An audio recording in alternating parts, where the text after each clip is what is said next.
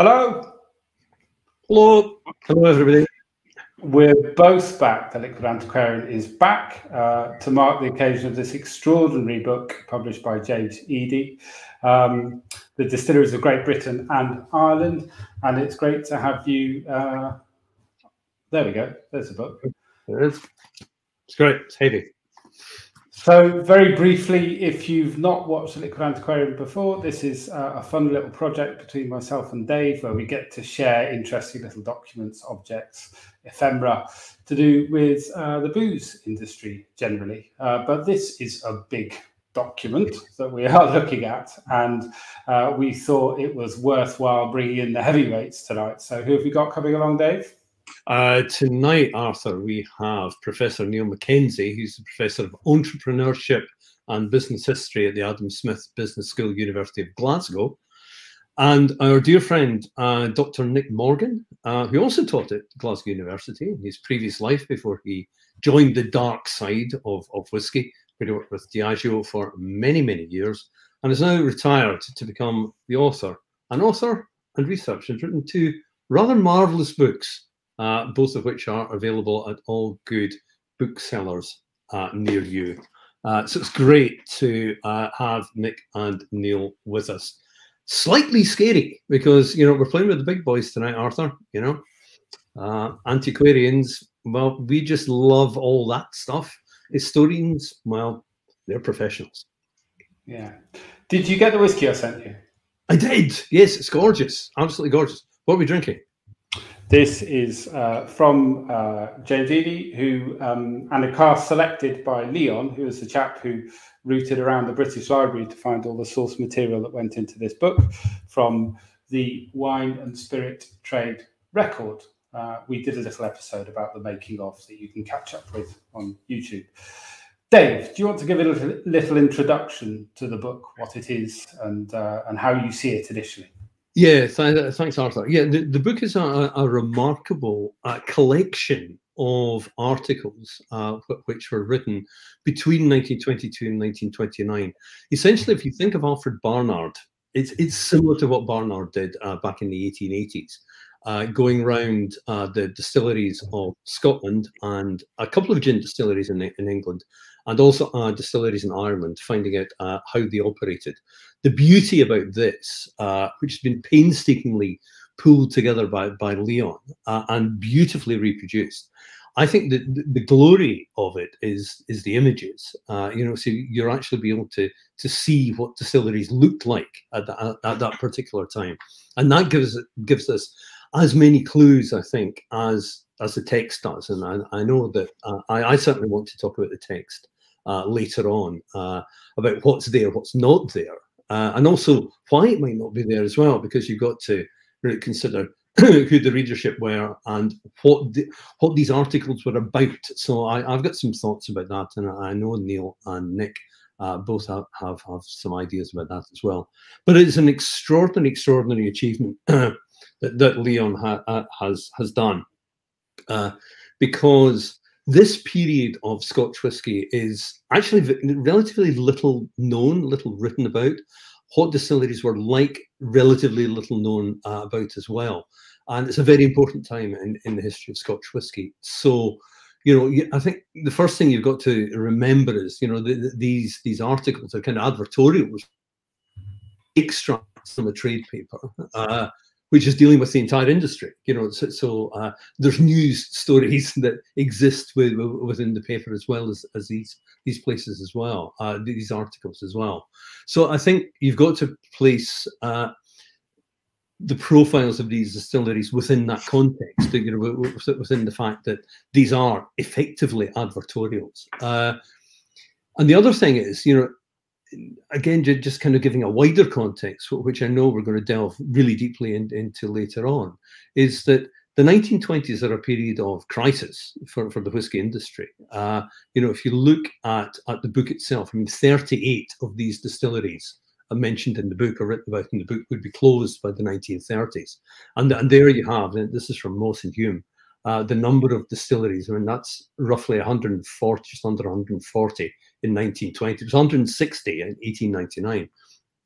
And, you know, that goes down to uh, in 1933, in fact, there were only two operational distilleries in Scotland, i.e., there were only, two working that particular year.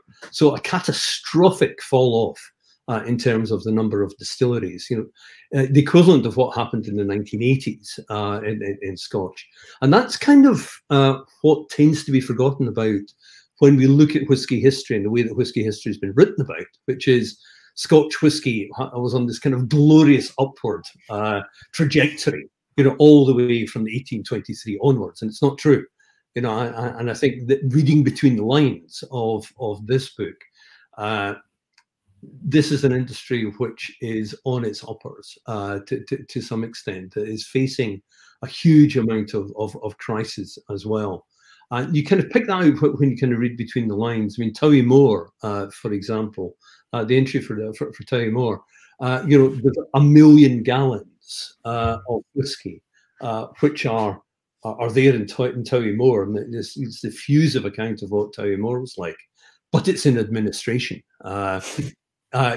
You know, you know, Glenfyne, which was the, the distillery in Ardrishaig, you know, again, beautifully described, you know, lovely whiskey, peated to the same level as Islay, etc., etc. And the way that this is written is essentially a sales prospectus. You know, so, so a lot of the, these pieces are, I suspect, you know, the the the owners of distilleries uh, kind of going, help to, to some extent, you know, please continue to have faith in the Scotch whisky industry. One of the things that, that kind of intrigued me in my, my kind of first read through uh, especially looking at the Irish uh, distilleries, which are utterly, utterly fascinating chapters on, on the Irish uh, distilleries, is that there's no mention in the book of Irish independence. Uh, but there is uh, mention of Irish independence within the wider magazine. You know, so you've got to think of this as being there is a news section and there's a feature section and there's an advertorial section. You know, essentially the same as well, I don't know, off license news when I first started writing there. So, so there we have it. Here's my context, really. The industry of, on the cusp of potential collapse, but the upside being we we learn about new methods of working, about improvements and about innovations, about the, the arrival of scientific methods of making whiskey, of and significant changes in, in ownership and consolidation. So it's a huge amount uh, for, for us to get our, our teeth into over the next hour or so. Uh, hour or so. So uh, I'm really looking forward to uh, jumping in and, and, getting the professional's view on this vast subject that, that, that, that this book is suddenly suddenly brought to our attention. As am I. I'm really looking forward to that. And I'm actually going to shrink into the background a little bit because we've got so many amazing slides prepped up, many from the book, but also quite a few that we've that are not from the book, and some real great discoveries and contributions also. So I'm going to shrink into the background, do the kind of producer bit, and bring uh, Niall in. I will actually just say, Niall, as you come in, thank you so much for your support of the show. It was a real boost during those lockdown times when you got in touch and said you actually thought what we were doing was pretty good, as we had always apologized for ourselves, even by calling it the liquid antiquarian and recognizing that we weren't professionals. And you were always so kind. So thank you for supporting the show. And I'm going to shrink. Uh, Arthur's shrunk away mid sentence. Uh, so so uh, he's he's beavering away in the background there. Uh, and uh, as ever, anybody who's got any comments, just uh, type them in. If we do have time, we will get to the comments and questions. But we may not have time. But but anyway, we, we will do our very very best. Niall, absolutely great. I just just second what Arthur said. Thank you so much for all your kind words and support. Uh, and I, I, have to say, you know, I, you're a member of the Kelvindale Whisky Society. So uh, a, a, big shout out to, to all all the folk, uh, whiskey drinkers in Kelvindale, where I was born. Uh, so uh, So it, it's good to know that whiskey drinking continues in that fine borough of Glasgow. Uh, thank you very much for the invitation to to join you guys this evening. Um, I, I've really enjoyed Liquid Antiquarian so far. Uh, I hope to maintain the standards this evening, but I can't promise you anything. Uh, you, you, guys have done a fabulous job of of um, telling interesting stories and, and bringing it to you know, bringing it to everyone's attention and and you know in some cases actually reinvigorating interest uh, in in brewing, distilling, and so on. So um, when you guys asked me about you know getting involved with this book, I was I was over the moon because um, I've enjoyed the show. I've enjoyed your your takes on on these things, but also this book is is a fabulous achievement. You know, you're you're absolutely right in your description of it earlier. Um, and so, get an opportunity to go through it um, in advance and, and, discuss these things with uh, with you guys was was I was really excited by it. So, thank you for inviting me on this evening. Not at all, not at all. And I, I know, you know, in our in the chats that we've been having prior prior to this, that uh, one of one of the areas that you picked out was was transport. Uh, you know, the the fact you know, again, you can actually see uh, transportation, and I, I, was thinking that, that that might be an interesting way to to kick things off. You know, as, transport as a theme, because that for me kind of touches on the idea of the remoteness of, a lot of these distilleries, you know, how reliant they were, and actually the modes of transport kind of indicate how remote uh, the, the, the, you know, some, some distilleries were. They weren't just urban, some were next to railway lines, but some were still way, way out the country. Uh, so, you know, in, in terms of that, that kind of wider context, uh, how, how does transport fit in? Um, it's you know it's a good question. One of the things you're right. One of the, one of the, the first things that struck me going through the book, looking at the pictures and and reading so on, was um, these are remote enterprises. You know, they, these are these are um, they're not the middle of nowhere in some cases. They're the end of nowhere. You know, these are very far away, uh, and in that respect, they're quite mystical and almost mythical, probably to the readership. You know, the readership's principally down south. Um, at this point, the Highlands is a wild and rugged place. The islands, who knows what goes on, and and you know further up afield. So when I saw the ones with the railway sidings and so on attached, um, uh, what you're seeing is is obviously there's logistics, there's um, infrastructure, there's transportation concerns and so on. And what you see is is the deployment of lots of different types of transport, and that, like you said, Dave, is dependent on where they're located. So some of them have got the the rail, uh, railways up close. That allows them to get the grains and the coal and so on into the, the distilleries, and it allows them to get the product out again. So you don't want your trains going uh, uh, back and forth empty. You want to be kind of utilizing as best you can. So one of the things that struck me just looking at these pictures, and um, you, you see here the barley delivery at um, Dillion, is there's a lot of work going in here, and, and so the transportation I thought was really interesting because um, in some cases, they've got uh, trains and railways. In other cases, they've got horse and cart. There's a picture of oxen, uh, which is a wee bit older. To be fair, it is about 30 years before. Um, and then you've got the canals and so on as well. So you're really seeing the the kind of the transportation, logistics, and infrastructure at play, serving and uh, supporting the industry and even vice versa as well, because some of these uh, railways, um, you know, are, are, heavily used by the distilleries. But I love this picture of Glenugie. I've got to open actually just to the side of me here, um, because you've got the you've got the horse and carts. Um, you've also got the the whiskey in the barrels, and then you've got the the people involved in this. So um, I mean, talking about sort of looking at this picture, the man with the top hat presumably is probably quite important compared to the others because uh, he's suited and booted and, and has a very different style. Um, and he appears to be counting or holding something in his hand, which is probably some kind of um, record of what's going on. So, what I really liked about the, the different images was was seeing how how they're operating at the time. Um, so you know, you've got Springbank here with the the horse and cart, and you know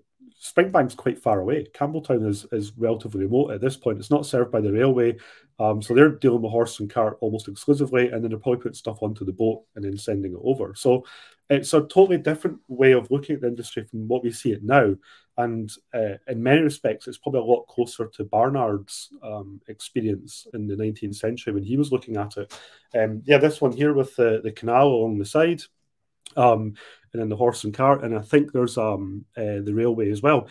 it's a great example of seeing the three different sort of principal modes of transport. They also have motor cars as well and, and uh, vehicles in some of the, the images too. But I really liked seeing this because it made me think about just a lot of the effort that's going into the the um, industry at this point. You know, it's we look at it now and it's a wildly different um, experience in some respects, but at this point, there's a tremendous amount of logistical um, challenges of of of getting um, stock to and from the distilleries and, and getting the, the products out there. Um, plus, the, the old trains just look amazing. I think they look absolutely fabulous. And uh, my kids love Harry Potter, so they were excited to see some of those trains looking like Harry Potter trains. But um, I, I, really do think it's you know it, it's um these are images certainly of a bygone era, and I think that's really interesting from from a um, from an industry perspective, but also from a a wider historical perspective. This is this is how people lived at this point. You know, it's, it's quite different from now. And I think as a as a record, the the book has a really good um, uh, a really good indication of, of the differences of, of, Barnard's time versus even at that point versus what we see now. Um, and just seeing this is a great, I thought this was a great juxtaposition of the the horse and cart on the right and then the motor vehicle on the left. Um, and of course, the motor vehicle is probably traveling a wee bit longer distance than the horse and cart. But um, again, just like transport just kept coming back to me as I was reading the book, and I kept thinking, you know, this was vitally important, um, really important to the industry because it's what's getting the product out of the, the distilleries and into the markets. Yeah, I mean, I, I, I love these Glenlivet steam wagons as well, you know, because, you know, I think we touched on this in an early antiquarian, you know, you, you can plot where distillery the, the, the, era that a distillery was built by its proximity to railways or road or whatever and the earlier distilleries such as glenlivet which were you know on old farms or miles away from anywhere and you know that was one of the problems you know that you know that was one reason that glenlivet was was the only uh, distillery in the glen for a long time because there was no infrastructure you know they had to use steam wagons to get to the the, the railhead i mean I, yeah. It's important as well because this is this is still early transportation technology. You know, motorized uh, technology at that point is not it's not particularly old. You know, it's, it's these are power they're steam they're steam powered vehicles. You know, it's um you haven't even got to the motor car yet. You know, the kind of the, it's transportation. So so again, you're seeing the kind of the. I mean, it's an industry that's about 100 years old by this point. Well, 100 years old from the 18, uh, 1820 Act, but it's it's an industry that's still in its infancy compared to what we see it now. So it's still it hasn't you know it's not a fully matured industry by any stretch at that point. And what was also interesting about the different um, portrayals of transportation is what it shows you is how diffuse the industry is at this point. You know, these are these are dotted all over the landscape. They're some are close to railways, some are not. Some are in farms, some are miles away. And so, what the transportation does, as you just said, is it gives you an indication of of the diffuse nature of, of this industry. It's spread out. It hasn't, you know, it hasn't fully um, hasn't kind of fully uh, matured in terms of its supply chains and logistics and so on. It's certainly kind of you know spreading its wings a little bit, but it's not quite flying at this point.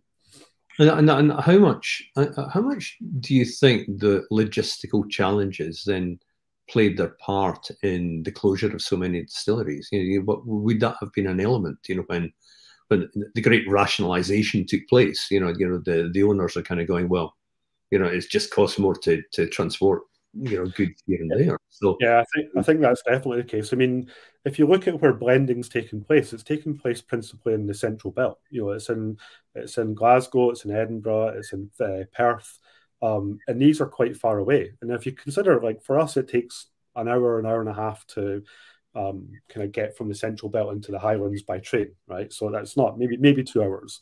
For these guys, it, it, you're talking days in some cases. You know, prior to the railway, and even the railway at the time, still very very slow and it's costly. So there's no question that they're they're facing this um, these challenges around. They're they're in a they're they're typically not always, but they're typically in a remote location. I mean, in a remote location, it costs you extra to get anywhere anyone anyone who lives in um, certain PH postcodes will know when they try and order something online, they get a surcharge because the post office is it's too expensive for them even now. You know, and this is hundred years ago, so it's a totally different situation, much more um, uh, much more difficult, much more challenging to get the products from the distilleries into these markets. And your point about the advertorials, um, that kept coming back to me as well I, when I was reading this, because what they're essentially doing is their markets are essentially down south. You know, the markets are right kind of the big markets are down south, um, and so they have to get the products there somehow, whether it's via um, the central belt blending locations and then onwards from there, or whether it's direct straight down uh, to, to the markets down south, it's still going to take time and it still costs a lot of money. So, um, yeah, you're you're absolutely right. I think transportation does play a big factor in, in the closure of these distilleries. Dave, can I just bring up a couple more slides with a special credit mention? It's just came in today. Uh, so in the book, we have the Glenlivet steam wagons, but um, through a distant relative, um, Peter, who works at the Grampian Transport Museum. Uh, well, this image he sent over, which I believe is a photograph in the Grampian Transport Museum, you do see that from time to time online. Yeah, the the, the Glenlivet steam wagons, Sentinel steam wagons on the on the move, really beautiful. But then also this one slightly earlier from Glendronach, he hazarded a guess, probably 1910, something like that. This is the later one that probably would have been in use during the time of the book. Really beautiful, original photograph. And then, as I think, um, Niall, you wanted to move on to talk a little bit about people. Can, can I just say there, Arthur, if you go back to the previous picture, yeah, you've you've estimated. Um, no, no, I think the other one, uh, the one, uh, this one. Nope, one more. Uh, the one. No, no, it's, it's for It's the Glen, it's the Glendronach one. You've, yeah, this one here. So you've estimated in 1920, but it says established. Um, it's 1826. yeah, I think it's 1826. 1826. but, but, this is the thing. You're looking. If you look at this this vehicle, um, they've got the thick uh, kind of pneumatic tires. Um, it clearly isn't probably able to travel very long distances, and it's not exactly holding likely to hold a lot. You know, if you look at the the capacity mm-hmm. of that vehicle. And yet, that is almost the height of technology in, in terms of transportation. You know, for um, for the kind of uh, the flexible uh, nature of it. So it, I, I, think this is a this is a great picture because I mean these guys look pretty happy as well. You know, they're not having to they're not having to wrestle with horses or oxen or anything else. They've got they've got a machine that will largely do as it's told um, without too much concern. So uh, and and actually that's another thing these pictures are fabulous because what they show is these guys are obviously manual laborers. You know, they're they're they're quite they're quite dirty. You know, they, their their overalls are, are filthy, um, and they clearly have, have had to work very very hard. Um, so so the, the introduction of this mechanization of the transportation options that you have with uh, with the railways and with um, steam technology and, and uh, uh, motor vehicles and so on does make a big difference, I think, to their their own lives. You know, I think that's really important to recognise here that we just we often get sucked into viewing it. This is how you get the whiskey from the distillery to the market. What about the effect it has on the people working there? And mm. you know, not having to clean up after the horses is probably quite a nice you know nice change for them.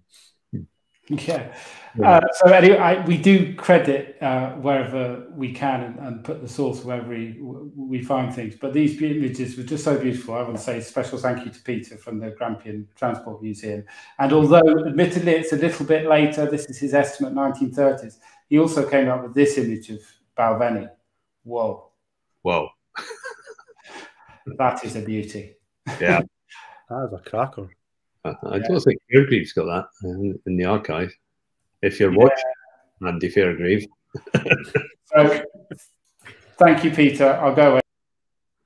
Uh, yeah, just kind of before bring, bring Nick in, maybe just quickly touch on kind of this idea of the social social history. You know, that was again something that you picked up, and it was something that I noted. You know, Ardbeg, for example. You know, there are 150 people living in the village of Ardbeg. You know, there was a school there, there was bowling green, there was, you know, all manner of uh, things. You know, it was, it was, it was a community.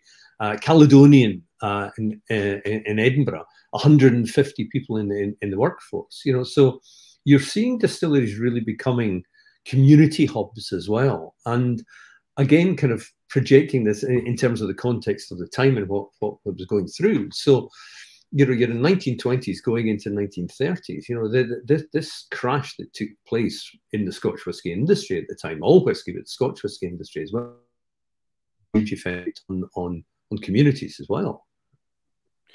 Yeah, and that's one of the other things is that when we talk about the diffuse nature and the peripherality of these distilleries, you're absolutely right to point out that they're they're community hubs. You know, they're they're keeping they're keeping communities alive, and they're they're these kind of what we would call anchor points, um, industrial anchor points, which in peripheral remote locations are critically important to the the vitality of the of the uh, locale.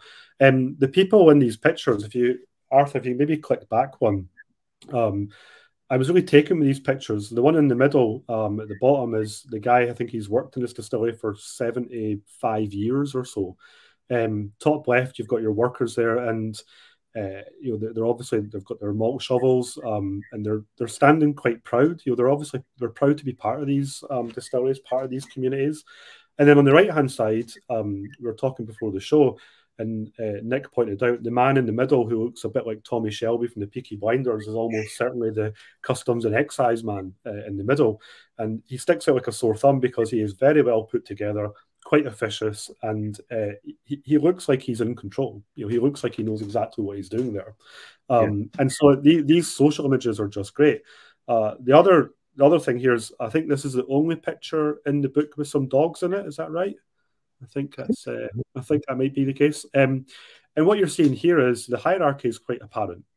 You know, and you can tell on the one hand by the cleanliness of the workers, on the other hand by the the, the, the attire they're wearing. You know, so the one's got the okay, trilby uh, type hat. One's not even wearing a hat, which is incredible because I think in every other picture someone's got a hat on. Uh, there's maybe one or two that don't. So, um, and these big flat caps are, are kind of uh, prob- probably workers a little bit further down the food chain. So um, the book's a really fabulous representation of all sorts of different, you know, um, characteristics and and social norms and cultural values and so on. Um, you've got your white jacketed ones here uh, working in the bottling lines. Um, this is in Ireland, I think, is it? Is that John Power? Yeah, uh, that's John's in Dublin. So, so you're seeing you're seeing all sorts of different examples of um, the stratification of class, uh, social um, standing and so on within uh, within British society at this point. So, it, I mean, as a, as a as a working kind of document, it's a really brilliant piece of work because it really does show how the how the industry is is behaving, how it's operating in different ways. Um, you know, you've got you've got females on the workforce there. Um, you don't see any of them in the distilleries. so they're yeah. they're not yeah. present in distilleries. They're, they're very much present elsewhere.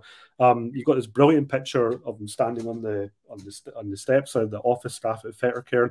I mean, I, I love these pictures. I've spent honestly the last few weeks looking at the pictures as much as anything else because it's it's a really wonderful way of capturing the industry um, at a time when, as you said, we didn't know a great deal about it um, or, or, not not we didn't know a great deal about it, but we're missing information, and this does a really good job of filling a lot of those gaps. That's brilliant. Thank thank you so much for that for that, Niall. I, I, I want to bring uh, Nick in uh, at, at, this point because there, there's another area. Hello, Nick. You can wake up now. Uh, there's. I've, I've, been I've been listening. I was just going to actually say yeah, yeah, yeah. a couple of points in terms of the people and the transport. The majority of the men in those photographs will have been away at war for four years or more, and they will have had such an experience of technology and, and horses as well, of course. So I think it's a very different workforce that comes back into these distilleries in 1919 and 1920 in terms of their expectations and their ability to hmm. handle uh, equipment. You know, and and Niall, as we've discussed, there's a lot of equipment in some of these distilleries. You know, there really is. It's a, it's a very interesting point. There's a lot of engineering suddenly, you know, that, that that's that, that's uh, getting that's arriving in distilleries as well. And actually, in passing, uh, but, but, oh. but before, yeah, there's your Morton's refrigerator there, and Nick. Uh, I really only wanted that for Andrew Symington, if if he's watching, which I doubt. But you know, that's an Andrew Symington photograph. And Andrew, if you are watching, there are dozens of them in this book. It's astonishing the, the, the, just speaking about, about women there, uh, just in passing, uh, in the Glenfiddich uh, entry, you know, the, there's there's talk about the women working on the bottling line, and a lot of these women, or perhaps their daughters or relatives, during the Second World War, uh, worked in the cooperage and at, at Glenfiddich. You know, so, so there's this very interesting. Again, the social history is very very important. But maybe coming back to that that technology thing, Nick. What we're we're seeing here is, as I said earlier, the industry on the cusp. You know, you have descriptions of old style distilleries. You know, Old Pulteney, Talisker described as being kind of old style distilleries, but you have the introduction of science. You know, you know Hazelburn being being, being a, a classic example. Distillery okay. laboratories. So, so uh, let, us hold Hazelburn. We're going to come back to that, uh, um, Arthur. So, the first thing I think I would say is that throughout this book, there's a real tension. And again, Niall and I discussed this when we spoke last week between the old and the new, and between tradition and innovation. And it's a tension that still exists in the industry today. You know, it's very much there in the marketing language that that brands use in Scotch whisky. They all want to respect the old, and yet they're all doing the very new. And here's here's a quote from from from Banff, where the traditional methods of making malt whisky have been handed down from father to son and carefully observed, but no pains have been spared to provide the works with all the latest modern improvements.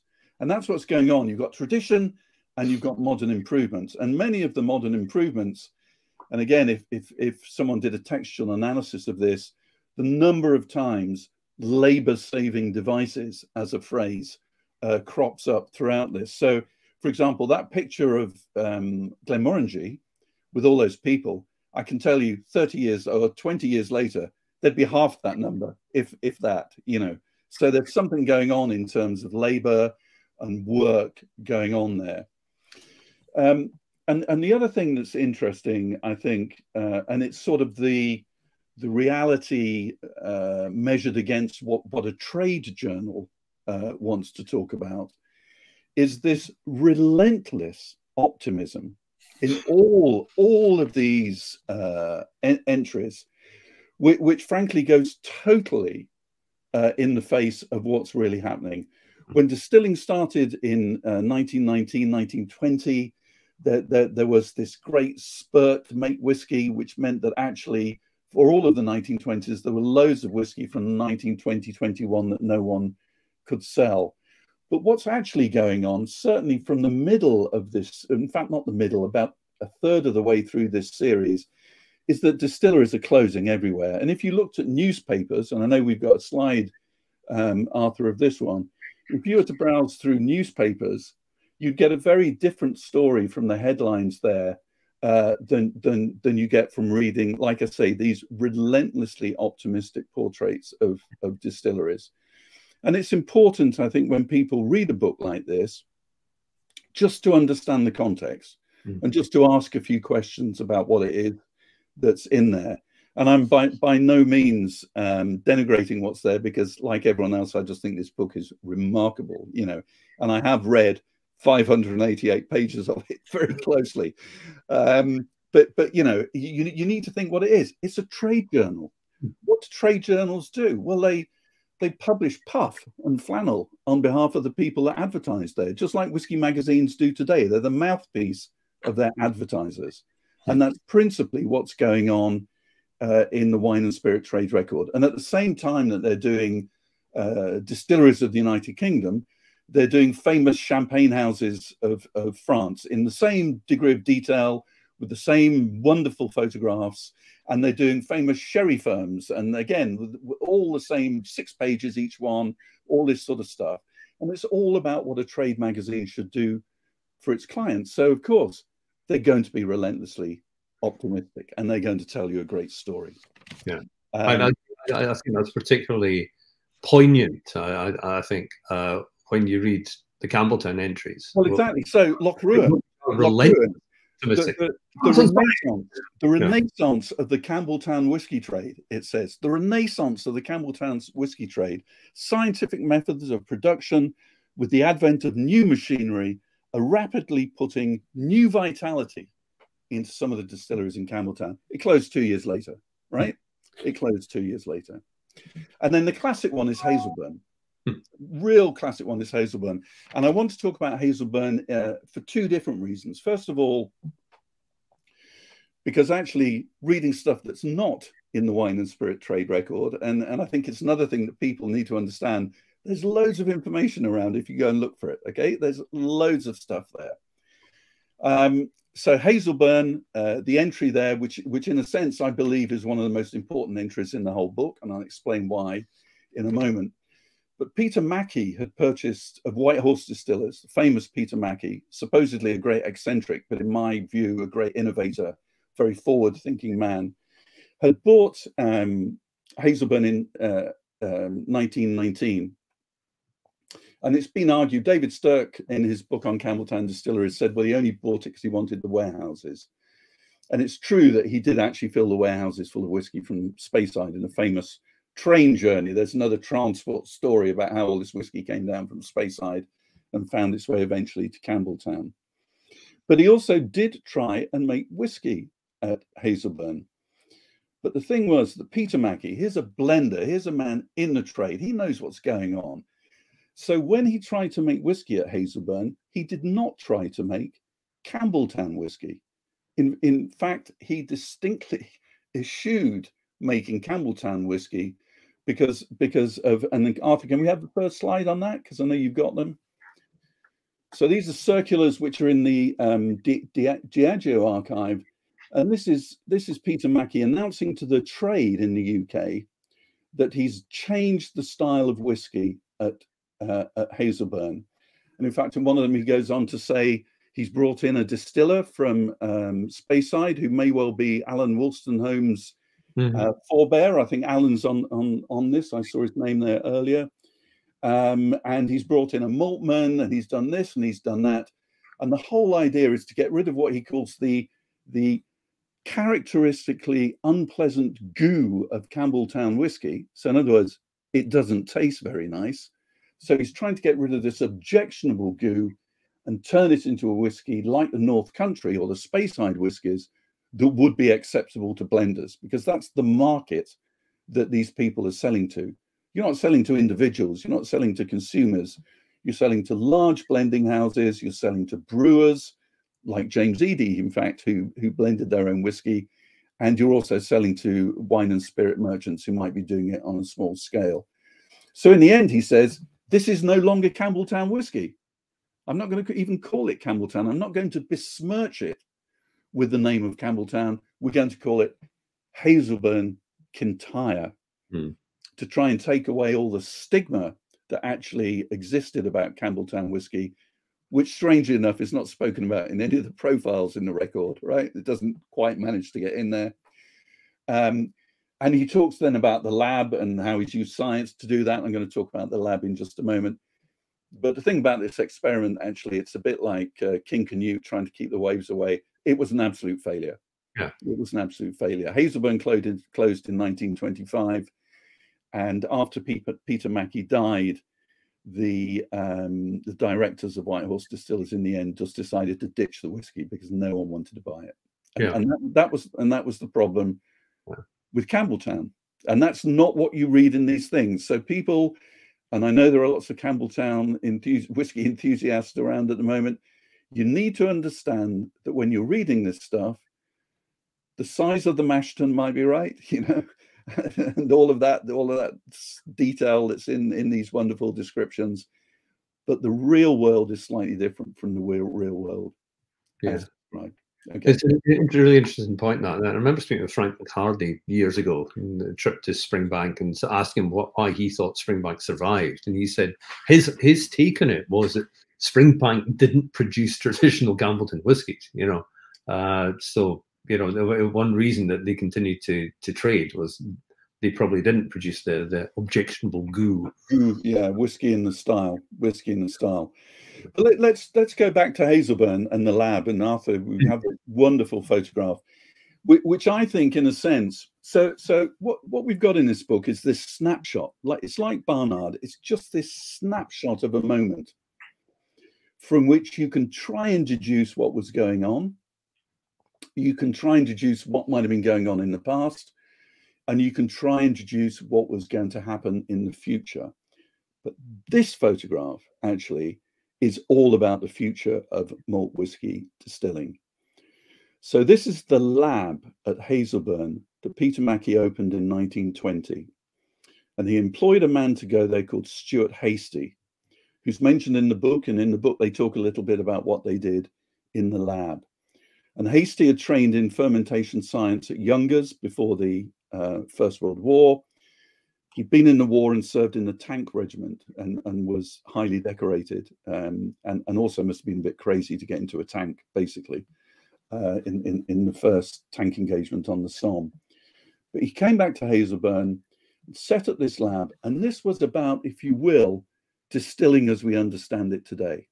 Okay, this, this what happened at at the White Horse distilleries um, was about distilling today, uh, and I'll read you.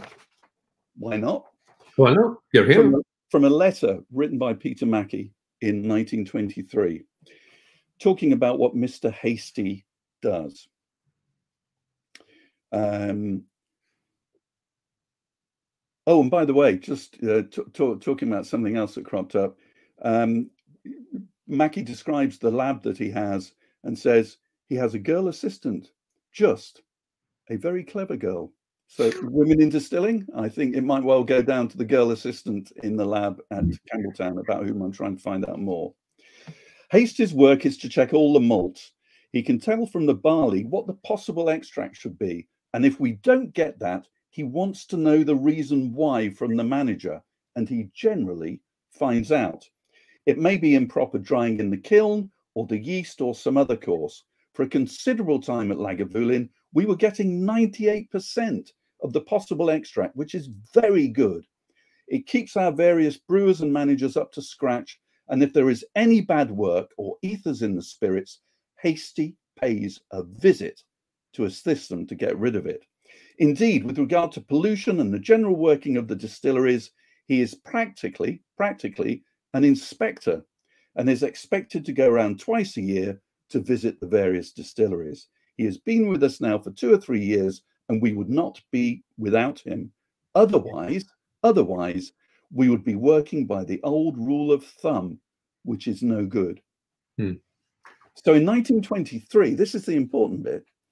1923, Hastie goes to Glasgow. They move the lab, possibly the very clever girl as well, to Glasgow. 1927, 1927, uh, when Whitehorse distillers uh, are required by the distillers company, Hastie and his lab are moved to Coates Crescent. And I believe that's the lab that Maureen Robinson was working in when I first met her in 1990. So there's sort of takes takes me back a bit to this one. But more importantly, by 1930, Hastie was managing director of Scottish Malt Distillers and was responsible for the management and the operation of over 50 single malt distilleries.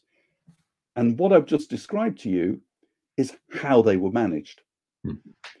And what I've just described to you, Dave, as you will know very well, is how almost all distilleries are managed today.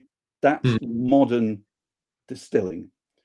And that's captured in that photograph uh, of Hazelburn, which I was so excited when Leon showed me this. It was like, holy shit, this is so important. What you know? Yeah. And, and uh, Arthur, uh, I think you found a, a, few other labs or mentioned of labs uh, elsewhere. Yeah, Strathclyde. Uh, yeah, and there's another one, and they, but these are mostly um, these are mostly yeast related labs. Right, right. And, and, and the point about Hastie's lab is that um, this is this is about changing the way that distilling is done. It's about mm. changing the whole structure of the industry with the responsibilities of managers. And it's moving to that point, I think, where where the people who are responsible for what happens in the distilleries are no longer the people on the ground. They're increasingly the, pe- the, the people in the back room. And, and as we would say today, very often the blenders, the blenders are calling the shots yeah. and they will determine what's happening. And the blending companies are so interesting as well, because of course, if you read through, I've just got another note if I can find it. Um, Cardhu, mm. Cardow, Cardow, I should say, Cardow, the best equipped and most progressive, most progressive distillery in the country. The management ever on the lookout for new ideas. John Walker and Sons Limited, who described themselves in every sense as a progressive company. That was what that business was all about. That's what that little fellow walking around is about that. progression, that sense of movement and dynamic improvement. And if you read these pages, and you know, you said at the beginning, Dave, you have to read through the lines. You know, hmm. you can look at the pictures, and the pictures tell us a lot, although not all the pictures are quite as they seem, but the pictures tell us quite quite a lot. But you you have to read through the lines, and if you read through the lines, what you see in this book is the hand of the large blending companies who themselves are being restructured into into mm-hmm. the DCL combine. That's all going on in the background as well, and Scottish malt distillers with Stuart Hastie and all of that stuff. That's what's really driving the change and improvement here. You know, it's the blending companies calling the shots, and I think although there isn't a great deal here, as in Barnard, you have to really struggle to try and find something that's telling you what the whiskey might taste like. Yeah. I mean, it is it is there, you know, 30 hour fermentations. That's yep. quite interesting. That's quite an interesting one. Um, you know, and stuff like that. but it's far and few between. But it's these blending companies that are driving what's going on. And, and I find that um, very Yeah, yeah, I think that's really fascinating. Again, they're just kind of picking up that slightly uh, about Hastie and Hastie's visits, you know, around the estate and the White Horse estate, and then looking at the Lagavulin uh, entry, where you see Lagavulin moving towards this more scientific, modern way of, of, of making whiskey, and malt mill being deliberately kept yeah. Uh, as being the old style. And this is how yeah. you know this is how yeah. it was horsehair, uh, you know, uh, on on the kilns and peat braziers and everything. You know, and saying we are keeping that uh, almost as a model. Uh, yeah, well, the improvements take, take place in Lagavulin. I, I find that utterly, utterly fascinating. And, and I think that's uh, for all the other stuff that's written about malt mill. I think that's the sort of um, you know exemplifies the the romanticism of Peter Mackie actually, because on the one uh, uh, on the one hand he was he was a driver of progress and innovation, and yet on the other hand he really respected the old ways of doing things. So what better than to have a an old style distillery and then crank it up everywhere else. Niall, I, would like to kind of bring you back in this, and you know, we can now, you know, I'll, I'll just kind of chat together. But but just looking at that, picking up on on Nick's point about this being, you know, a changing point. You know, the 1920s being the shift uh, in production. Uh, you know, the greater use of electricity. You know, steam. Uh, the the the Green's Economizer. I, I think I'm obsessed with Green's Economizer. And thank you, Mr. Cheeser. Who, who, lovely to hear from Mr. Cheeser. Apparently, you can still buy Green's Economizer. Uh, but all, all, all this new equipment, uh, labor saving devices, reed beds, uh, automation, uh, you know, the things that we think are novel now, you know, in terms of sustainability, uh, they're, they're being trialed in, in, in the 1920s, you know. So, what's your take on, on, on that, Niall? About this? Um, so, so Nick and I were discussing this last week, and what you're seeing here is a, a, period of innovation where they're adopting these new technologies across a range of different um, a range of different distilleries, and you're seeing uh, efficiency drives and so on. But going back to Nick's point, really, what they're they're they're clear about is um, is the importance of quality. It's maintaining the quality or, or upping the quality of the spirit. And that's driven, as Nick said, by the blenders who are demanding consistency. You know, and if you think about the, the, the relatively rudimentary nature of the technologies deployed here, they're Victorian technologies. Trying to get consistency must have been an absolute nightmare. So, so you've got the skill of the of the distillers, right? And and that's no, you know, not to be um, downplayed at all. But then also you've got the skill of the blenders who are obviously dealing with probably wildly inconsistent uh, whiskey types um, on a fairly regular basis coming coming to them, and that may be dependent on crop yield, might be dependent on whether they've got the right strain of yeast, um, could be whether there was a you know a dry harvest, any number of different things there. So the innovation and the technology they're deploying are, are all attempts at kind of mitigating some of the uh, challenges they face around distillation, around quality, around um, uh, consistency. And then on the flip side of that, you've got, I was saying this to, to Nick last week and to Ian Russell, you've got these distilleries using electricity. And in the Highlands and Islands, uh, actually, there's no electricity till the late 1940s. So, so the Highlands Islands isn't electrified until the late 1940s. So there's every possibility you've got people working in these distilleries with modern technology like you know electricity, which is still modern at this point, and they're going home to you know oil burning lamps and, and coal fires and everything else. So so these guys are are seeing with their own eyes like the march of technology. And it's really interesting, I think, to look at that and think about the lives of these workers, the lives of the people in the distilleries who some of them will be in the the distillery cottages, and some of them might have electricity for a couple of hours if they're lucky, but then it's back to oil burning lamps and everything else. And that to me was really interesting because the, the electrification of the Highlands comes 20, 25 years later, Highlands and Islands. Um, and that's only as a result of government uh, policy. So the, the um, the integration and uh, imposition of the hydro schemes, you know, to, to kind of generate electricity for them and sort of consistent electricity generation. Whereas what you see with these distillers or these distilleries is they've got dynamos, they've got all sorts of kind of novel attempts at, at creating their own electricity and whatnot. And those won't have been inconsistent either, right? So those won't have been you know um, fail safes or, or kind of uh, proven technology that works on a consistent basis there's every possibility they were up and down and not quite working well and needed a bit of you know uh, jiggery pokery to get them working and so on. So it's a really interesting, you know, just these photographs and the descriptions of the technologies being deployed. You've got um is it Glenugie has got the water wheel and the wind mill as well. Now, yeah. if you think about this, you've got you know water wheels and windmills are very old technology, very very old, and then you've got right at the cutting edge these these you know um, electric uh, technologies in play as well. So I, I was looking at this and thinking, what must it have been like for the workers? You know, for these guys going in and out, because um, the other thing is that they're probably not highly trained electricians. You know, they're probably not kind of.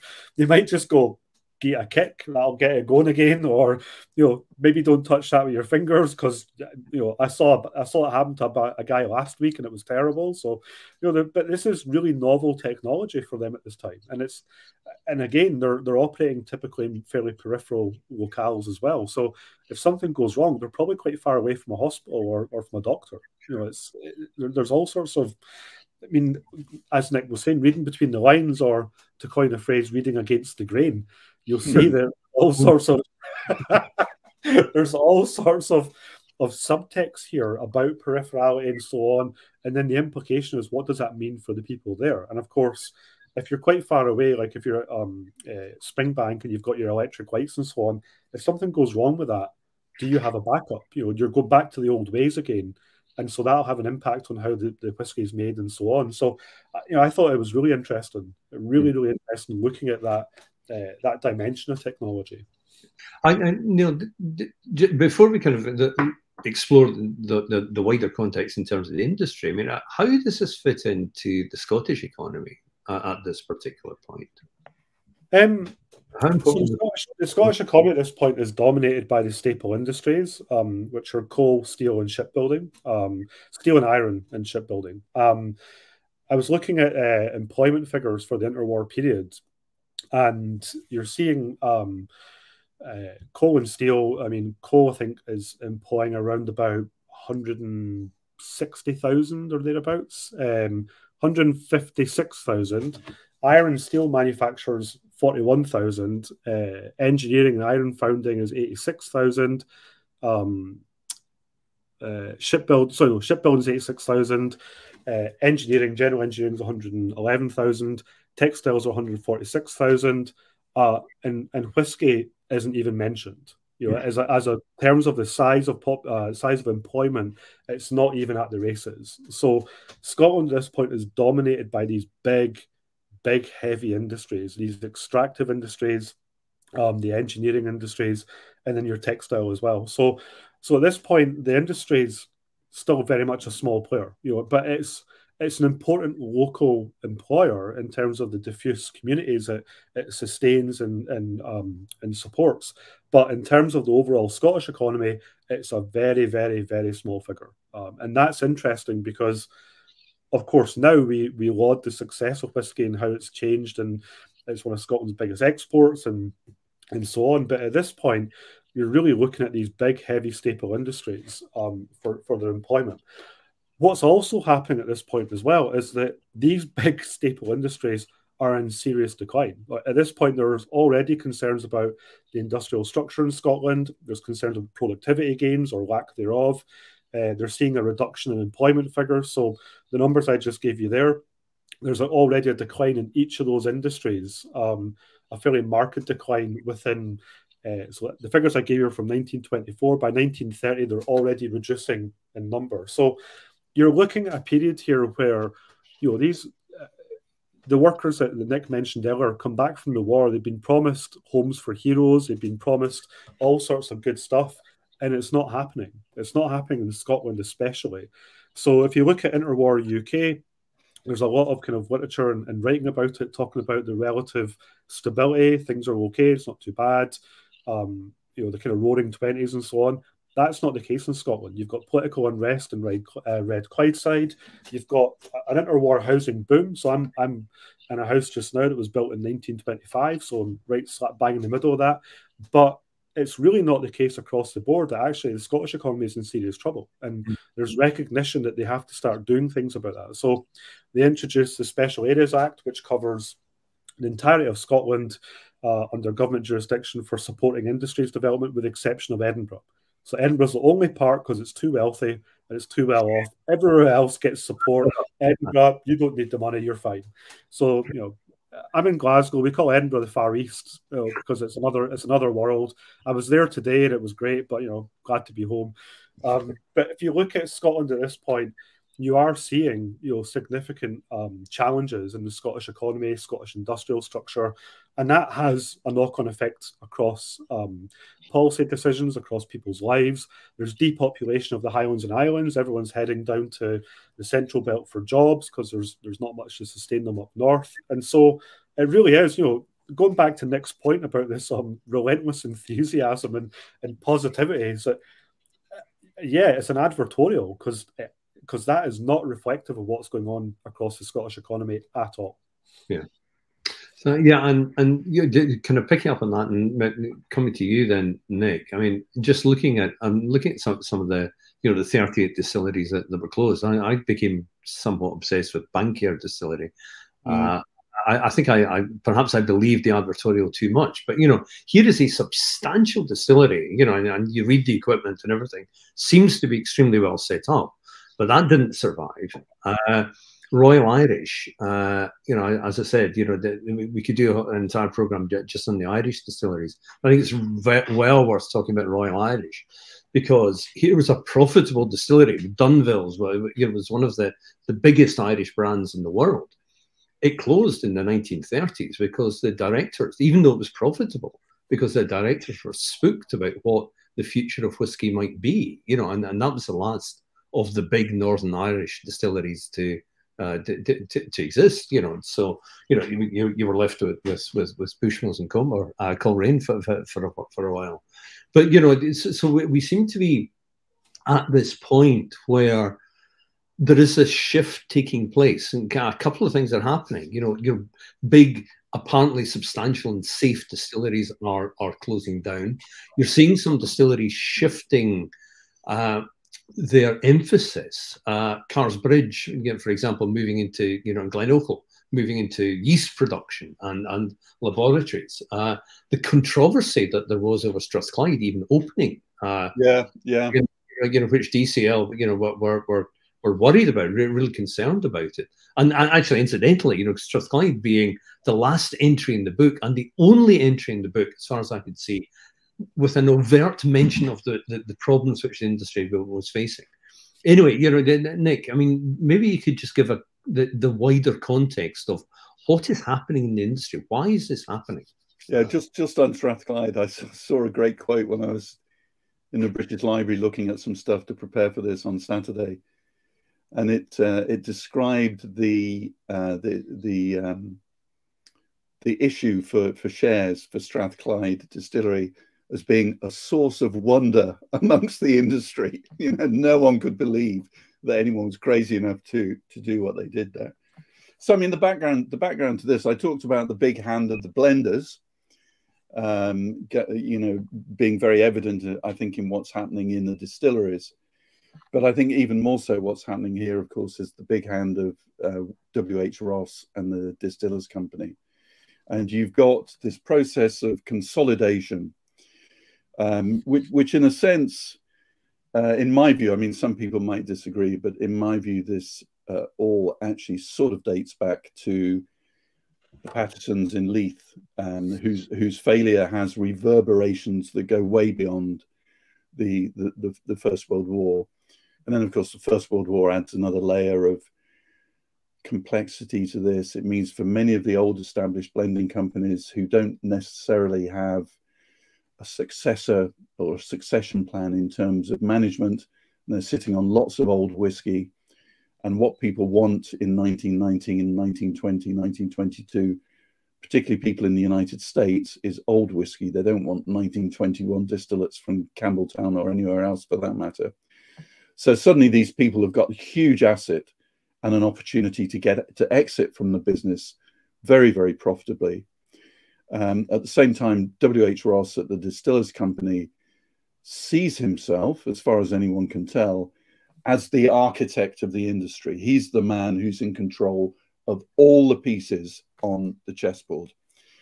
And he gradually um, brings in Buchanan Dewar and then Johnnie Walker, and they've been talking about this from the 1890s. So these are discussions that have been going on for almost 20 plus years.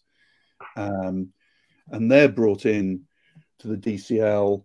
Uh, Sir James Calder, who was who Bankier was one of his distilleries, Calders are brought in, and they um, and they're part of the game. And then, as I said, White Horse Distillers. And I think the way that it worked. Uh, maybe not so much with um, certainly with Walkers, who I think were very emotionally attached to their estate, and and they were a bit in the way the merger worked. They were a bit distant in terms of the ownership of places like Cardhu and Mortlach and stuff like that. But I think the deal was that once you went into the DCL, anything was up for grabs in terms of taking it out of production. And what Ross was concerned about was was um, was was really stopping overproduction.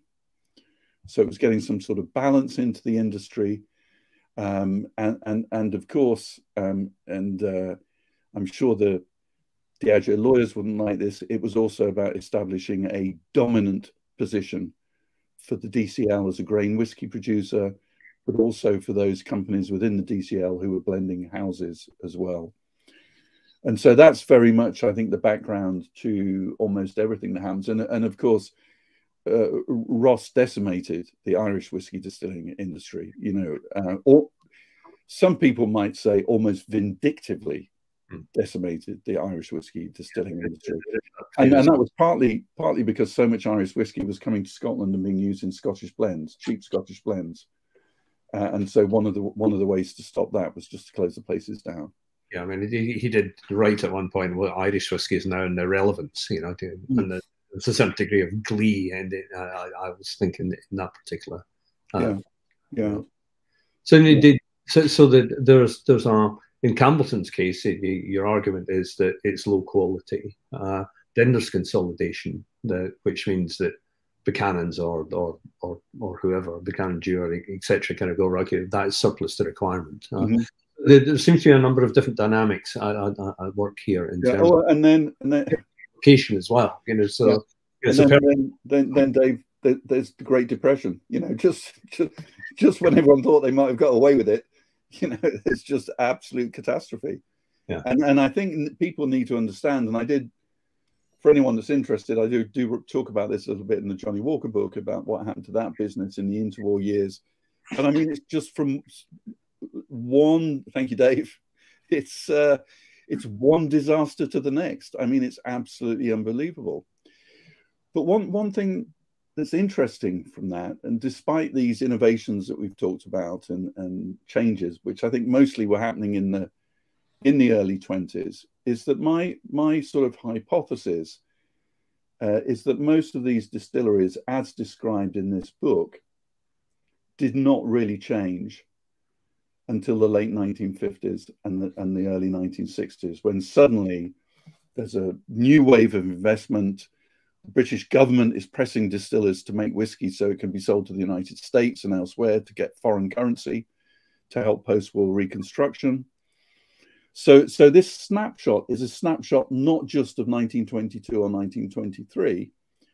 I think for those distilleries that survive, despite closures during the war and all the rest of it, but to, to survive through to the 50s, this is how whiskey was being made then. When when Cardow's redeveloped in the early 1960s, there's an inventory of all the plant that was there. Remember, this is Cardow that's described as the most modern and innovative distillery in 1923. All the plant was Victorian. It had all gone in in in the, in the 1890s. You know, yeah. so, uh, for whiskey geeks, you know, for whiskey geeks who are sort of desperate to try and taste and understand what whiskey from from what they call the olden days uh, was like. Well, th- this book is about the olden days whiskey.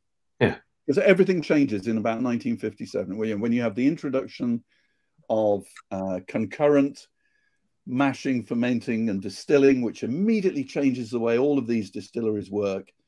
And then you have all the distillery rebuilds and expansions and all the rest of it, and Caol Ila being rebuilt and so on and so forth, all of that stuff. Everything changes then. But what you've got in this book is a real sort of vignette of whiskey making as it would have gone through to the late 50s or 60s. And that's one of the reasons why I think it's a remarkable publication. And also, just kind of widening it again very briefly, you know, it's something I, have kind of mused about for, for a number of years that, that Scotch whiskey, to some extent, is just lucky. You know, you know, you know, Irish independence closes closes off a market you know, uh, taxation, etc., etc. in Ireland closes down distilleries. You have prohibition in America, effectively shutting distilling down there from 1919 till after the Second World War, really. Uh, Canada simply supplying supplying America when it started up, and even you know bloodied Scotch somehow emerges as the last man standing. Uh, so, so, there's an element of you know, as well as great entrepreneurship and marketing, etc., etc., and the blending houses, an element of just sheer bloody good fortune. Yeah, yeah. I, I note that Mr. Cheeser has made a comment about something that I uh, was was struck by, which is the um, amount of peat that's being mm. used in the Speyside distilleries. Mm. And, and that's one one of the ways um, that we can sort of get near, I think, to what this stuff might have tasted like because we, we know that in the 1890s, distillers, particularly in the Highlands, Speyside, were um, were doing whatever they could to actually reduce the potency of their whiskey, reduce the flavor. They're putting in purifiers, starting to look at condensers and stuff like that.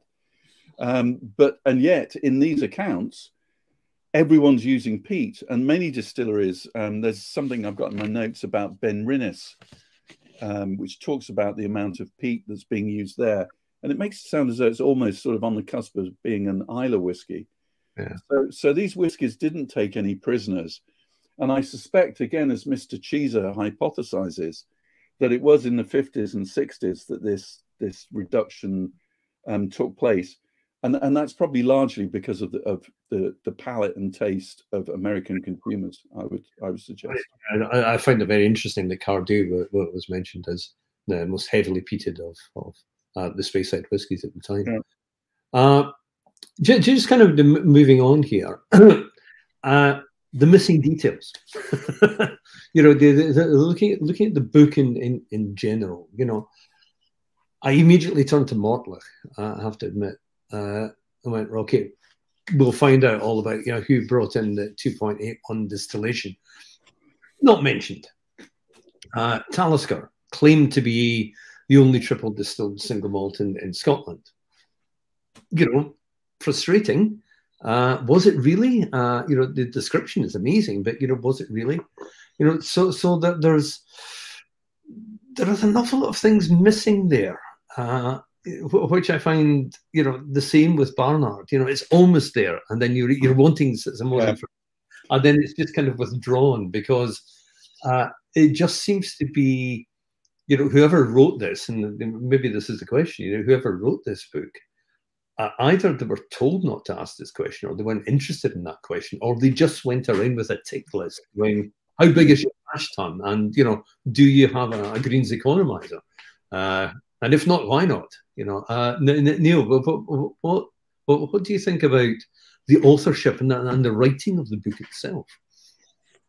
Um, so Nick and I bounced this around last week, um, and we we came to a working hypothesis, uh, which I've I've also kind of checked with one or two others, and uh, we we think it's probably probably a single author, but not in the way you might think. So um, it's not a Barnard. It's Barnard Mark II in the sense that it's very clearly uh, riffing on Barnard. So um, Nick pointed out in the um, in the language used about tortuous. Um, the word tortuous is used a few times. So I did a quick search and I found tortuous is used in both the Dailuaine entries. Uh, tortuous winding uh, rivers and tortuous um, uh, the tortuous Spey, I think he calls it. So ends of the Spey. Yes, that's it. So, so there's clearly an overlap there, but our working hypothesis is we think it's probably um, in the sense that they're advertorials, they've probably put surveys or similar out to these distilleries because some of them are not there. Some are missing. You know, for uh, Tomatin's missing, for example. So we think it might be that um, the the distilleries have responded with, for example, the technical details, and then the the writer has embellished the cases, embellished the profiles of the distilleries with your.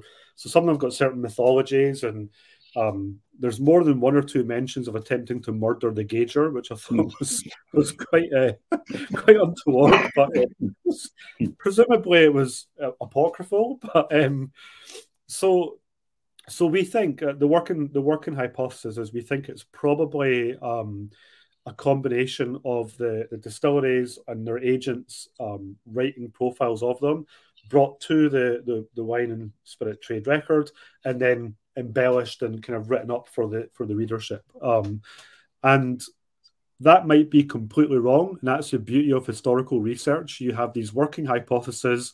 You you think you've got you know you think you've got it on the money. Yes, this is definitely the case.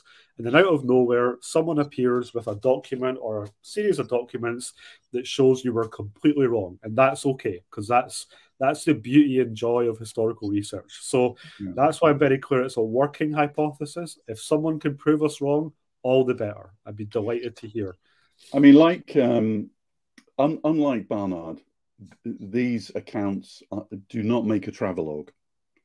You know, there's only one really definite visit here, uh, which uh, Leon uh, discussed with Arthur last week, which is Glenugie which sounds like a sort of modern day press trip where they all get pissed and end up having a Highland Games by them by moonlight, you know, sort of thing that so-called influencers seem to love to do. Um, but apart from that, although the writer mentions visiting distilleries and having visited or mentions representatives visiting distilleries, there's nothing really to suggest that he, or, or if I may offer a heretical thought in the world of whiskey, that she, that she um, uh, wrote that wasn't from from accounts from a historical gazetteer on one side and from a copy of Barnard on the other side. It's a desk job. It's someone bored out of their wits um, in Great Tower Street, which is in, in the middle of where the whiskey industry and the wine and spirits industry used to be, but it's actually moving out to the West End. They're all going to St. James and stuff like that. And I rather suspect the wine and spirit trade record is a bit left behind. Um, so it's someone there, uh, and and it, why couldn't it be a woman? Dorothy L. Sayers is up the road, hmm. writing advertising copy for beer and whiskey and all sorts of things. So I don't think we should assume it's a man that that, that was writing it, but it's someone at a desk with a typewriter churning this stuff out. And I can tell you, having read through to page 588, that by the time you get to about page 500, you can tell the author is bored stiff. Yeah yeah. really absolute. It's like, how many more of these things have I got to write? So it could be that Bowmore and Tomatin and Booths and uh, Burroughs and all the rest of it didn't get in because they just went on strike. They said, "I'm not, I'm not writing any more of these." You know, it's just got. the, the, uh, I forget which distillery it is off the top of my head, but it is kind of. Uh, there's kind of painstaking descriptions about how whiskey is made, you know, and a couple of occasions, you know, you know, cuts, cut points, and you know, yeah shots and all of that. And then towards the end of it is, I don't need to tell you about how whiskey. you know, you know, the, the, the, You know? there's, an, there's another point here, Dave, which is quite interesting, uh, actually, because it cuts across a few ways. On the one hand, you know, I've heard people go, "Well, we've never seen any of this. It's astonishing," you know. And then, of course, people said, "Well, we've seen the Highland Park. Uh, we've seen the Highland Park entry because that was published separately, and Ian Buxton, I think, did a reprint of it." But many of these photographs have been in circulation um, in, in different places. And I've looked at the photographs as closely as I was able to. And they seem to have used very often uh, local photographers.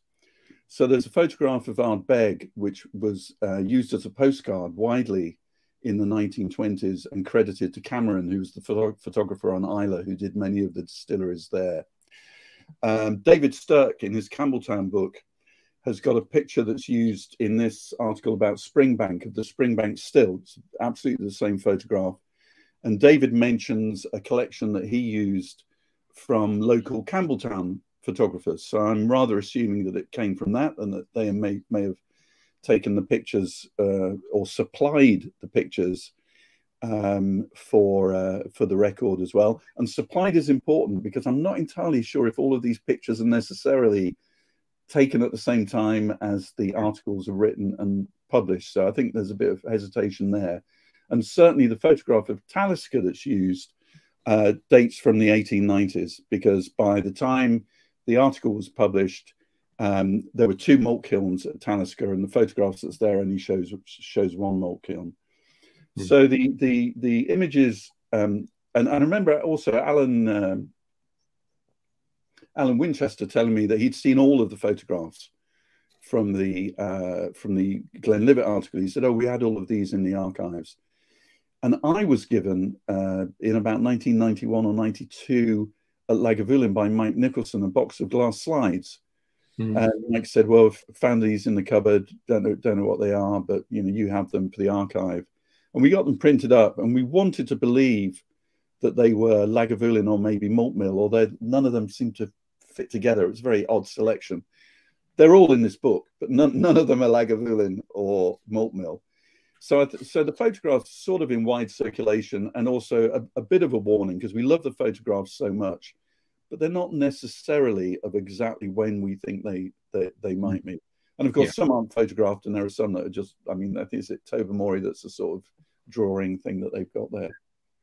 I mean, uh, the, the, kind of maybe one last question here, but uh, just thinking before that, just talking about the the fact it isn't a travelogue, you, you don't get the, the kind of wonderful uh, narrative that you get from Barnard, you know, where he suddenly becomes all romantic and talks about carriage journeys and fairy yeah. glen and all of that. There is only one uh, uh, that, that I kind of picked out, which was uh, Old Pulteney, and the introduction of to which says Wick possesses few attributes uh, attraction, sorry, Wick possesses few attractions, either natural or artificial. You know, I don't think much has changed really since the 1920s, but but uh, in in some ways, you know, looking at it from from a from a writer's point of view, and both you gentlemen are, are, are writers as well. Is this the start of writing about whiskey being formalized in some ways? There seems to be this continuing at romantic attachment to smuggling, for example. You know, you can't think of anything else to write about. Let's throw in a smuggler or two. Uh, I don't really know what to write about Highland Park. Let's talk about the Vikings. You know, so, so there does seem to be something either extraordinarily contemporary about this or the fact that whiskey writing today hasn't moved on that much from. I think it's drawn. It's drawn from a very limited palette, Dave. I think is what you have to say. Uh, but, but, what, what, did you think of, of, of that, Niall? I mean, did did you see? I think so. One of the things that struck me when I was reading was the repetition of these mythologies, you know, and these kind of hoary stories of illicit distilling and so on. And then, I mean, I, I don't think whiskey writing has really moved on significantly from that. Um, present company accepted. You know, I think, and I, I, say that you know quite genuinely because I think when I, when I look at you know your your um your association of whiskey with culture, I think is really important, and that's one of the things which is really apparent um and some of the images and some of the photographies, the kind of the the nature of the industry and the the community association it has and so on. And it is a community, there's no question there. One of the things we've not mentioned actually is the philanthropy that's mentioned several times throughout the book about supporting local communities and village halls and everything else.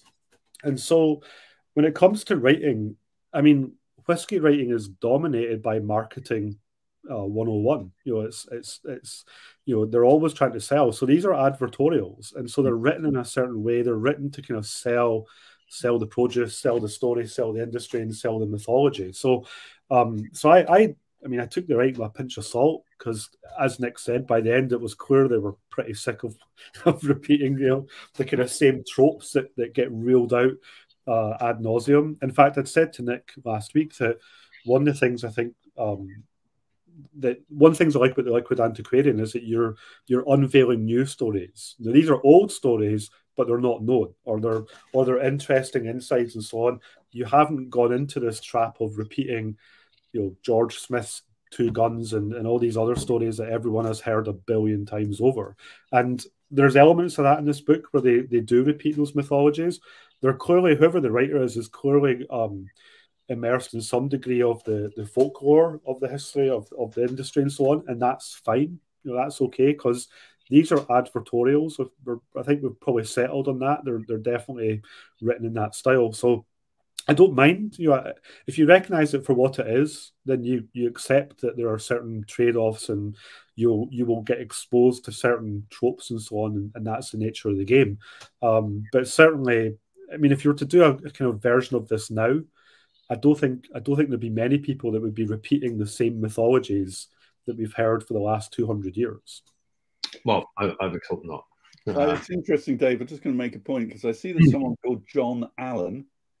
Oh, um, John I, Allen has made a remark there saying that what, what we've got here is copywriting uh, and there's good and there's bad. And uh, John's absolutely right. And, and John is, if anyone knows John, he's a brilliant copywriter. So he should know copywriting when he sees it. But uh, I object to it because, just for example, when I joined United Distillers in 1990 and given this sort of archive job, it's like, well, what have we got that's history? And actually, most of the stuff we had that was history had evolved from pieces of copywriting. It wasn't history; it was copywriting, but everyone believed it was absolutely true.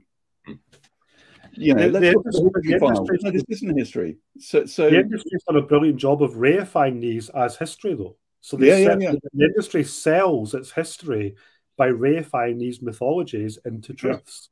And it's you know you can talk to anyone, and it's the same with single malt. So anyone will tell you now, oh, single malt's much better than a blend because it's been a reification of this mythology around what these actually are. And so, you know, you're right. It's it's copywriting, good and bad. It's not history per se. You know, I I, I would try and I would try and verify anything I'm writing as a mm. as a general rule of thumb. If I'm putting something, if I'm committing my name to something in text, and it's historical, you can bet I've checked three or four different sources to to triangulate and verify that there's an element of truth there. It's but not always possible, but the thing is, Niall, though, that these things become they become history because they're there and it's what everyone's been told in companies and it's what brand managers are told when they join and it's in the training courses that companies offer. So suddenly you've got something that was, and there, there I could, could, give you some instances of these copywriting stuff that's been done in the 60s when someone's basically made stuff up. And then over the years, it's become a truth. Hmm. And, and if it's a truth, then it can't be challenged you know, and I think that's a problem for the industry. And and and as Dave sort of referred to, I think tangentially or not, um, there are some truths that, that are widely believed in the industry that are very strongly challenged um, by by some of the entries here. So there'll be some where brand people will look at, at the text and photographs and will be delighted. I mean, I was astonished. There's a photograph in here of the Highland Park Stillhouse and I have a photograph that I took when I was on Orkney on a sailing trip about six years ago. And it's almost identical, taken from the same angle. It's like it could be the same, exactly the same place. And there are other still houses and, and other distilleries where things don't quite look as the way you might have expected from what's written. So that's going to be interesting to see how some brand owners reconcile themselves to that, or or no doubt probably just ignore it. You know. Well, yeah, I, I hope not, and I, I, do. I do hope, you know, uh, also uh, as an agent, whiskey, not a writer about whiskey, uh, that, that the whole genre of whiskey writing does change because it, it's become kind of calcified. Anyway, it's, it's a it's it's a different topic. Uh, to conclude, gentlemen, because you know we've kind of ranted about that. Oh, it's just a bunch of advertorials, and you know it might be written by Dorothy L. Sayers, you know, which is a wonderful theory. Uh, but how important is this? Not knocking away, we're, we're just trying to say actually don't believe this is absolute absolute gospel. There's a bigger story behind it.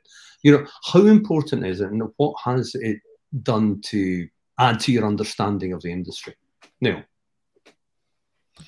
Um, I really like it. I've got a lot of affection for this, and I, you know, I, you can have affection for something and not think it's perfect, and I think that's important to recognize here that we're not dealing with perfection and actually, you shouldn't be looking for perfection. You shouldn't be looking for an exact record of the way things exactly were, you know, 100 years ago, because that doesn't exist. That's not the nature of historical writing, of historical inquiry, and, and of our understanding of what history is. What this is, is a really nice record of the industry 100 years ago that has its has its weaknesses, it has its limitations, but ultimately it's a fabulous document, right? It's a fabulous, you know, con- consolidated piece that that Leon has done wonders to uncover. It's been there hiding in plain sight, which is the beauty of, of this as well, because as a historian, I can't tell you how often you know what you're looking for is hiding in plain sight. It's you have to reconcile yourself to that early on if you want to be a historian. If you want to do this properly, you have to recognize that you will miss things. You will miss the most obvious thing in the world, and it'll you know and it'll frustrate you, but you're just happy it's out there. And I feel the same way about this book. I'm happy it's out there. I'm happy that people are getting the the opportunity to read it and to enjoy it and to to kind of wax lyrical about what it might mean, what it might represent, the reading against the grain and so on. Because what it does is it energizes um, people's kind of perception and value of history in relation to the industry, especially. And I really like that. You know, I like the fact that we're debating it, that you've got four different Liquid Antiquarian uh, episodes discussing this from four different perspectives. Um, that there's there's discussions on Facebook, there's discussions between friends, there's text messages going back and forth, phone calls. Nick's gone back to the British Library to have me look around there as well. All that has come about because this book is out, and that's a really good thing. So that's my, you know, that's my kind of view of it. I really like it. Right, Nick. In in conclusion, well, well, in conclusion, this this is just an astonishing book. I mean, it it, it really is. My, my only criticism is that Barnard, when I'm sitting here writing, comes off the shelf probably two days a week, two days, yeah, at least two days a week.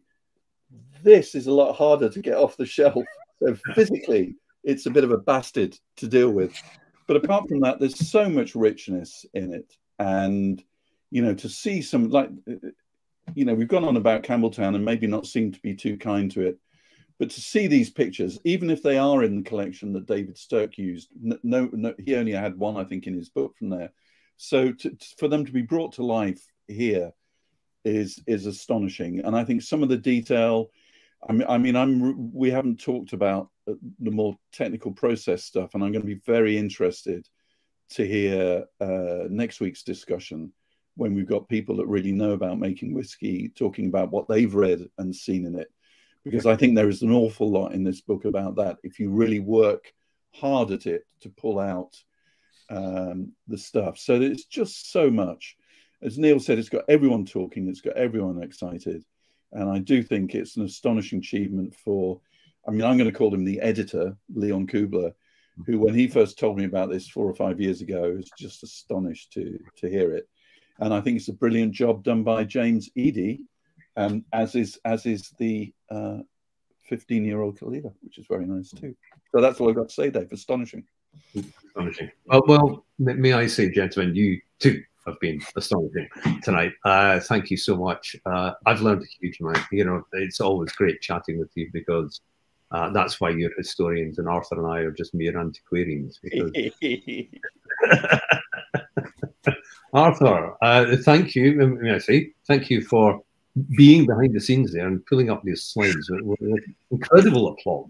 Uh, Can it be like this every week? I like this. I just sit and have a Caol Ila and watch. It's been absolutely amazing. And I think it's a huge achievement, as you said, from Leon. But one of the lovely things is I know how much he will have enjoyed this because it's been a slog for him for five years ago. I think the first time he mentioned it to me, and it and it foundered a couple of times.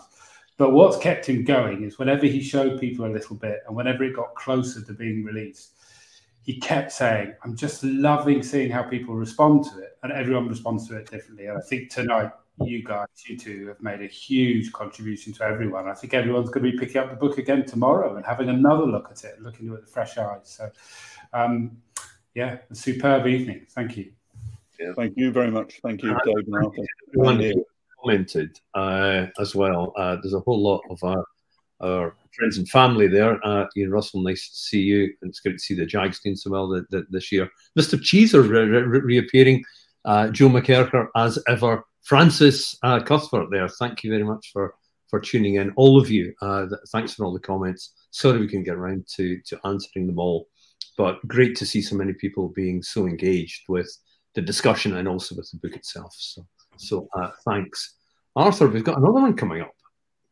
We do. Let's wave goodbye to Nick and Niall. Thank you again, guys. Thank you, guys. Thank you, Thank you so much. We do. Uh, so Nick said next week. It's actually Thursday, isn't it? We've got the distillers coming. Um, and we had promised another one on Friday, but frankly, we're running out of steam, aren't we, Dave? The, pre- the preparation of these slides and the preparation of getting this little show together, it does uh, get in the way of the day job rather. So we've canned Friday, but um, just so we can focus on Thursday because it's all becoming a little bit too much. It does mention a Friday episode on the on the end credits, but no, it's Thursday. We're going to have Alan Winchester and Robert Fleming. So Alan, well, formerly of Glenlivet, but um, so much to his career, and Robert Fleming, who's been working in the industry for decades and decades, and Angus Dundee. So it'll be really interesting. So uh, lots of talks of pipes and fermentation and uh, and all the things that. Um, well, it's a little above my head in a different way to tonight has been above my head. we'll, we'll, we'll, maybe find out how uh, how the, the, the green the Green's economizer works. You know, so so there we go. But, but yeah, please, please, please, guys, I uh, do tune into that one. It's going to be absolutely fascinating. As, as Nick said, it's the other side of it, and really finding out how how whiskey was made uh, by a couple of incredibly experienced distillers and lovely people. Thanks so much, Dave. Cheers. Thanks, everyone. Good night. Thanks.